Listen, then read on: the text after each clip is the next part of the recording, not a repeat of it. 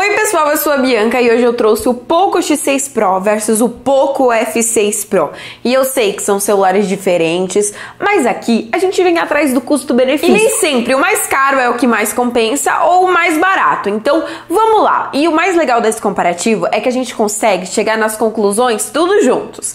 Vamos começar pelo design aqui dos dois. Nós temos dois celulares muito bonitos e o nosso Poco X6 Pro, ele tem uma traseira de couro, muito bonita. E ele tem um marmorizado aqui em volta das nossas câmeras. Só que o Poco X6 Pro você também pode comprar na versão espelhada de vidro. A gente tem essas duas opções. Agora, o nosso Poco F6 Pro, ele tem uma traseira de vidro, fosca, muito chique. E o marmorizado, ao invés de ser aqui nas câmeras, ela é aqui na parte de trás do nosso celular. Olha só que lindo. Gente, vamos combinar. Ele tá muito sensacional. Nós temos um conjunto de três três traseiras nos dois e eu achei eles muito parecidos. O que, que vocês acharam? Quero que vocês comentem aí. Dando uma volta aqui por eles, nós temos aqui nos dois o botão Power, que é o botão de ligar e desligar, o botão de volume. Na parte de cima, nós temos entrada para entrada não, né? Nós temos microfones para as ligações. E nós temos aqui também o infravermelho nos dois. E vocês sabem que através do infravermelho a gente pode controlar toda a nossa casa através dos nossos celulares. Então isso é muito legal. Se você tem uma televisão ou se você tem um ventilador, sabia que para você controlar eles, você precisa do infravermelho. Não é só o controle que vem na caixa que pode controlar, tá? Inclusive eu tenho aqui o controle remoto do nosso ar aqui do estúdio e eu só consigo controlar o meu ar através dessa luzinha aqui em cima que é o infravermelho. Então isso é muito legal. Através do meu celular eu posso controlar tudo que eu quiser. A gente também tem aqui no nosso Poco X6 Pro uma saída de som aqui em cima, que é esses três pontinhos. No F6 Pro, a saída de som é em cima da câmera de selfie, aqui na frente. Desse lado de cá não tem nada. Embaixo nós temos entrada para carregar USB-C nos dois, saídas de som, mais uma, microfones e a gavetinha para a gente colocar os nossos chips. Como vocês viram, a gente tem essa saída de som e uma saída de som aqui em cima nos dois também também. Então, a gente tem o áudio estéreo, que é a melhor qualidade sonora, tanto para você ouvir uma música, para você assistir um filme, você vai ter a melhor qualidade sonora possível. E o mais legal é que você nunca vai conseguir tampar os dois das duas saídas de som. Então, sempre você vai ter uma qualidade sonora incrível. Se você estiver jogando, você vai estar vai tá segurando seu celular assim, provavelmente, ou se você estiver assistindo. Então, tem uma saída de som aqui, a outra aqui, então sempre você vai ter a melhor qualidade sonora e isso é muito importante. Bom, esteticamente os dois são bem completos e aqui nas nossas telas a gente tem a impressão de digital. Ó, esse é nosso Poco X6 Pro e esse é o nosso Poco F6 Pro e funciona super bem a impressão de digital nos dois e as duas telas elas são idênticas. As duas têm exatamente o mesmo tamanho, são de 6.67 polegadas e as duas são AMOLED. Inclusive, a tela AMOLED é uma das melhores, sabia? É a mesma é, qualidade de imagem que você tem na tela do iPhone 15, você tem aqui. A mesma qualidade de imagem que a gente tem lá no S24 Ultra, que custa uns 8 mil reais, é a mesma que a gente tem aqui. E a tela AMOLED, ela também se destaca pela sua economia de bateria. Mesmo você mexendo no seu celular, mesmo que você esteja jogando, mesmo que você esteja assistindo ou até trabalhando, sua bateria vai estar sendo economizada, sabia? Isso porque dentro das nossas telas é bem chique. A gente tem várias luzinhas dentro da tela inteira, é cheio de mini luzinhas bem pequenininhas. E essas luzinhas, elas são conhecidas como pixels e elas funcionam individualmente. Então, quando uma luzinha acende aqui, a outra luzinha no outro lado fica apagada ao mesmo tempo. E as partes que estão apagadas são as partes da nossa tela na cor preta. Eu tenho aqui no meu Poco X6 Pro algumas partes da minha tela na cor preta e essas partes não estão consumindo bateria. Isso é muito sensacional, tá? E eu sei que não é só isso, a gente também tem que ter uma tela rápida e vamos abrir junto as nossas configurações para ver a taxa de atualização. Ó, nós temos duas telas com a mesma velocidade também, com taxa de atualização de 120 Hz. Então, até agora, eles estão muito páreos, né? Eles estão iguaizinhos. Mas quando o assunto é hardware, aí muda um pouco. E vocês sabem que os celulares da Xiaomi, da linha Poco, normalmente, na verdade, desde o primeiro Poco que a Xiaomi trouxe, ela sempre colocava um processador, né? Ela sempre coloca um processador super potente. O Poco X6 Pro foi um dos celulares mais comprados, inclusive, e ele é um celular que a gente considera o celular gamer que todo mundo pode ter. Porque para você ter um dos celulares mais potentes para jogos, normalmente você tem que investir aí uns 3 mil reais. Só que o Poco X6 Pro, ele já veio quebrando essas barreiras.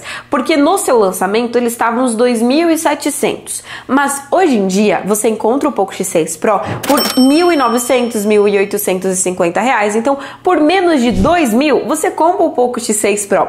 Por isso que ele é o celular gamer que todo mundo pode ter. Porque ele tem a mesma potência de um iPhone 15, por exemplo, mais ou menos a mesma potência potência do F6 Pro, só que custando muito menos. Então o seu custo-benefício é muito gigantesco. Eu abri aqui o Call of Duty e saca só, aqui no Pocket 6 Pro, obviamente, a gente vai jogar com tudo no máximo e ainda temos uma opção ultra em taxa de quadros. Então, só por aí a gente já consegue entender que na verdade, para você jogar todos os jogos com tudo no máximo, você não precisa comprar um celular de 4 mil, de 5 mil reais. Não, a gente tem o Pocket 6 Pro como uma opção barata e com certeza muito incrível. E você sabia que a diferença de potência de processador que a gente tem no X6 Pro para o F6 Pro não é muito grande? É uma diferença pequena pela diferença grande de preço. Ah, e se você quer comprar o seu Poco X6 Pro em 2024, eu vou deixar o link aí na descrição do mesmo lugar que eu comprei o meu. O processador que a gente tem aqui ele é da MediaTek, o Dimensity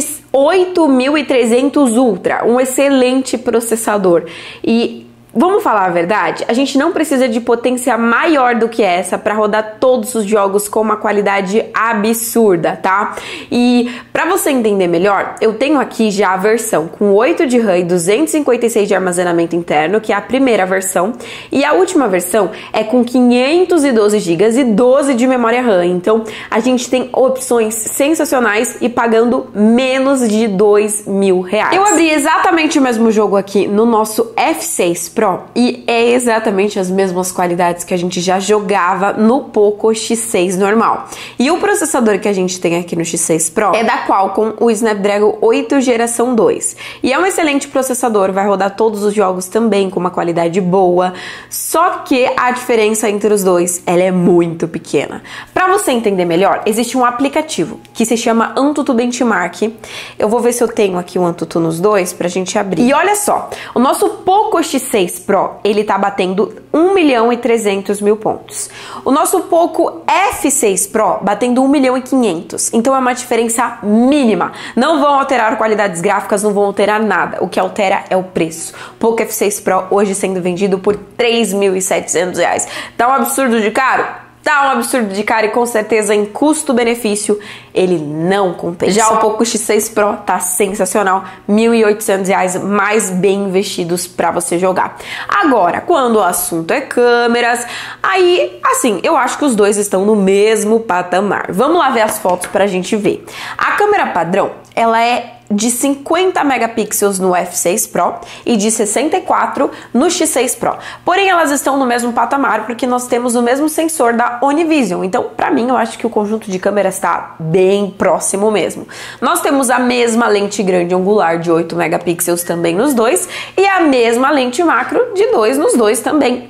A câmera de selfie ela é de 16 megapixels os dois, com exatamente o mesmo sensor também. Vocês viram? É o mesmo conjunto de câmeras, o mesmo conjunto de câmeras de um celular de quase 4 mil e um celular de 1.900 reais. Então, Óbvio, o Poco X6 Pro se destaca muito mais. Ah, e nós temos também 5.000 mAh de bateria nos dois. Então, se você quiser usar o dia inteiro para jogar, para mexer no dia a dia, você vai ter bateria para dar e vender nos dois. Óbvio, a gente também tem a tecnologia do NFC para a gente fazer os nossos pagamentos por aproximação. E vocês sabem que através do NFC do seu celular, ao invés de você usar os cartões por aproximação, você vai aproximar ele de uma maquininha de cartão, o que vai ser muito mais prático, muito mais seguro também E vocês sabem que carteira a gente pode esquecer em casa, mas o celular a gente sempre leva aonde a gente for. E o mais legal é que você pode colocar passe de ônibus, cartão de embarque, ingresso de eventos. Então isso é muito legal. O NFC faz todo sentido.